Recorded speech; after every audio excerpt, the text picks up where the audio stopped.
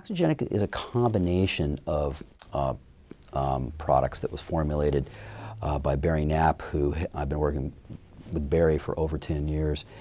And it's a really elegant product. It has a silicone base in it, so it's not oily.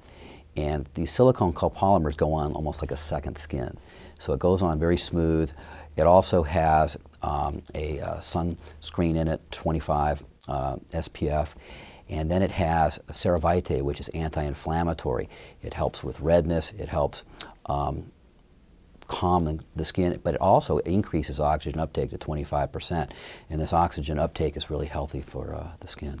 And it also has a, um, a camouflage, it's a cross copigment factor, and they have over eight, eight shades that you can blend together if you need to to really cover up any of the irregularities you may have from your post-surgical procedures.